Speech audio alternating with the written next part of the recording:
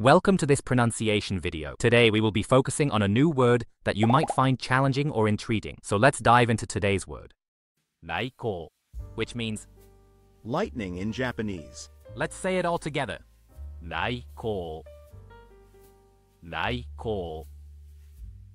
Raikou. One more time.